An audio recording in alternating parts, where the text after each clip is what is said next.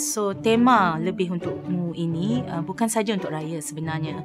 Ini ia merangkumi um, apa yang TM selama-lamanya telah membawa kepada rakyat Malaysia iaitu hidup lebih mudah. In the technology way, we are transforming everyone to be more technology savvy. You know, it doesn't matter uh, where you are or how old you are and everything. Technology is bought for you from TM and we can do more for everyone. Kepada saya, sebenarnya Hari Raya ni tak banyak tukar. Cara yang kita raikan telah bertukar dengan masa. Sekarang masuk rumah orang dengan telefon lah, dengan selfie, dengan wifi.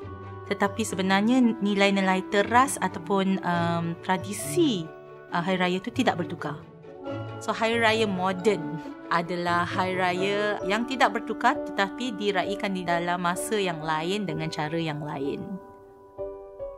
It's a very simple story where we really want to portray that um, technology itself can bring you know, people together in a very light-hearted way.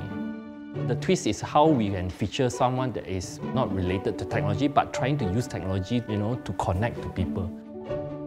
Kita ambil balik daripada adingan tu yang um, budak tengah main dengan game ke atau tengah main game semua tak nak cakap dengan chat. Tapi sebenarnya sebalik tu ada makna yang lebih dalam. Dalam teknologi yang menjauhkan sebenarnya dapat mendekatkan. I think we what we want to talk about is how technology can bring him get closer with his family. But the challenging part is really catching against time and catching the, the daylight. Because most of the scene that we shot is really about you know daytime. So the, the challenges that we face is really how do we bring you know, daytime into night. I must say kudos to the production team to set up, you know, the lighting to make it daytime in the closed environment.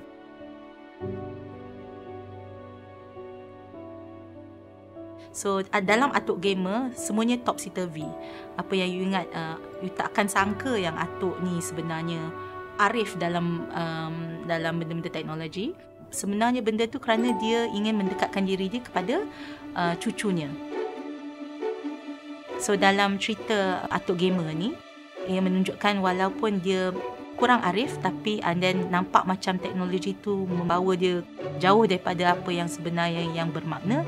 The the twist is that it brings more meaning into his life with his interactions with his with his grandson.